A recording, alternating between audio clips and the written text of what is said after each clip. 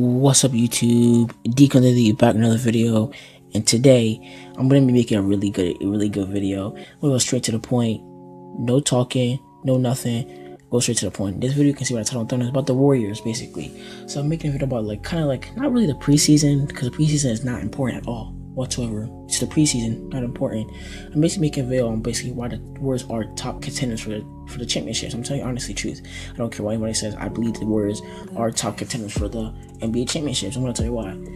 I think the rate the awards have fallen off a lot of people's radar due to basically their last season, due to how all the star players got injured. Basically, Curry was injured, Clay was injured, and freaking uh, that's basically the two top two really big star players. Because KD got traded last. I think he got traded two seasons ago, last season ago, but due to the re- injury, he's finally not injured anymore, which is good because I'm a fan of KD. I kind of don't like how he's not in the wars anymore, but it is what it is. It's how NBA runs, how NBA goes. People stay and people go. That's how it is.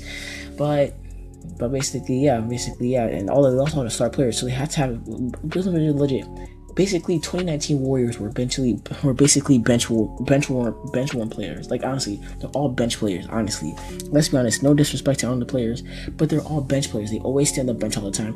Majority of the time, they're on the bench while the while the star players are usually playing on the court. So what do you expect with all the t- the, the big not even the best players in the freaking NBA? Let's be honest, because Warriors were con- were contending team. They were in the NBA Finals. Sure, they didn't win it, but they were still in the NBA Finals last season.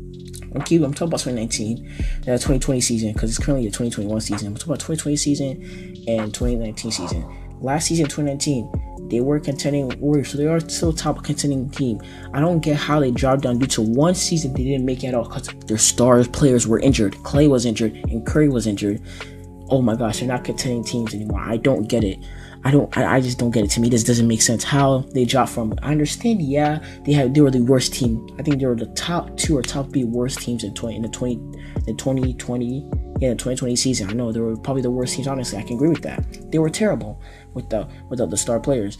But I don't get how people talk about how they're just trash or never be good again. The dynasty, oh my gosh makes me so mad when I be hearing the dynasty is over. The Warriors dynasty is over. They're never gonna win a championship again. Without KD, they're never gonna win a championship. Like, come on, man, you sound dumb. They're going to win a championship. I'm giving you.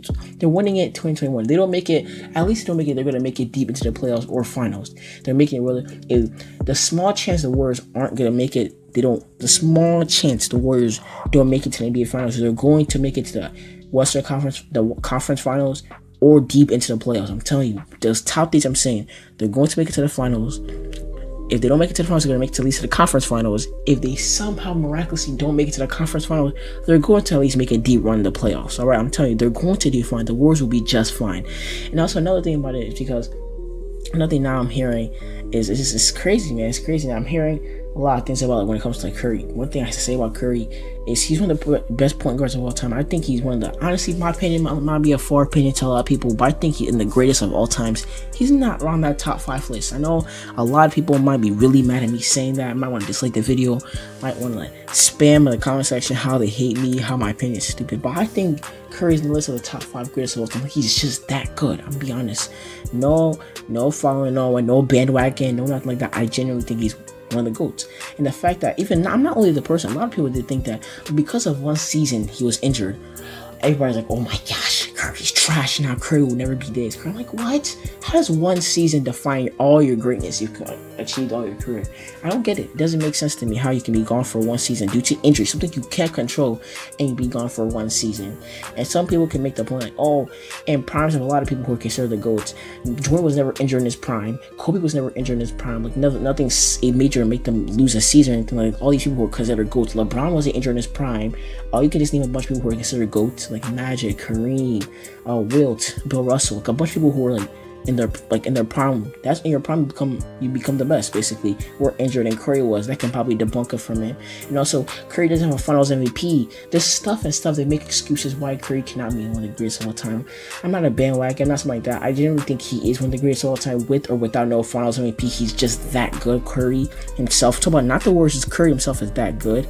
Okay, let's just and also last thing about Curry before um before we go back to Warriors what happened with I'm hearing this thing because Curry was gone for one season due to injury. I'm starting to hear this stupid thing pop up over and over again around the internet saying Dame is better than Curry. Damian Lillard, Dame, is better than Curry. they, people, I've been hearing people saying Dame is the number one point guard in the NBA. Damian Lillard. Wait, hold up. Dame. No offense, but Dame, he's one of my favorite players as well, like in the league. Not like go to anything, like nothing. He's not even close, but he's one of my favorite players. Don't get me wrong. He's one of the most enjoyable players, one of the top five or top ten best players currently in the league right now. But sorry, don't you ever, ever in your life compare someone like Damian Lillard to Stephen Curry. Dame will be in the bottom when it comes to resume and just skills in general, while Curry will be in the top because Dame has nothing to Curry. I'm telling you, the fact that people honestly think Dame is the number one point guard in the NBA, Dame is the best point guard in the NBA, better than Curry, honestly makes me want to laugh so loud. Like, what? Are y'all delusional or that dumb? How does one season ruin a whole man's credibility? How does one season ruin a whole man's career? Like, it's funny how this did happen to LeBron in 2011 when he got destroyed by the Mavs. No one thought less of LeBron. But I don't think so that much people because we have a lot of people who just still support and be like, Bron's the best. This is, but a lot of people love to forget about 2011, how trash, how abomination LeBron was in 2011 in the finals. But when it comes to Curry, one missed season, oh my gosh, he's so trash, he's so terrible. Oh my, like come on, have the same energy when it comes to other people you guys like. Come on, it can't be hate to one person and one team, but not hate to other people when they have their misfalls, their their downfalls. It just doesn't really make sense that much to me. You know what I'm saying? Anyway, I'm just thinking, I honestly, genuinely think, especially I've, I should have mentioned this more, but the preseason, how they were good, in, like the preseason obviously doesn't matter. It's the preseason. It doesn't really matter. It's the preseason. Don't get me wrong. But the cohesive unit, how they were against the Nuggets, who are the top three best team in my opinion in the Western Conference final. In the Western, it's the West Conference currently best, top three best team. Even though Warriors is like my favorite team, if you can probably tell by this video, how I'm sounding. I can't be biased. I'm not gonna be stupid. They've dropped down obviously due to their terrible season, and but due to all the trade, the amazing trade deals they've had, how all their stars are building up. Don't worry, Clay will come back soon. I'm telling you. Sadly, he got an injury during practice during this offseason, but he will come back soon. I'm telling you.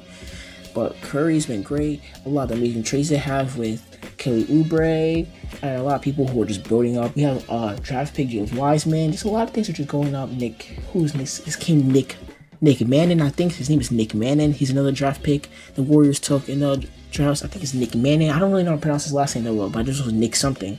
There's a lot of the teams just building up, getting better and better. Uh, another person who was really good in the play in the preseason game with the Nuggets was Andrew Wiggins. Amazing. That guy was crazy. I tell you, the guy was all fire and all cylinders. I'm saying that guy was crazy, man. I'm telling you. But the team is built now and how they were working together so co- cohesively, so nice, so gelling together. Even though this is the first time they've ever played in an actual basketball. Not obviously in practice, obviously there's some scrimmages and stuff like that. I'm talking about actual basketball game in the NBA. They've all played and they all gel so well perfectly. They are top contenders to me, honestly. Like if you go about top contenders, number one, honestly has to be obviously the Lakers when it comes to I'm talking about the Western Conference. I'm not talking about the whole NBA. That's too much teams, bro. The Western Conference when it comes to top contenders, number one's the Lakers, number two is the number two would be the Nuggets. Actually, number three would be the Warriors. Number four would be the Clippers. Because the Clippers are terrible. I'm gonna make a whole nother video on that situation. The Clippers are just terrible, man. Let's be honest. The Clippers are not winning a championship.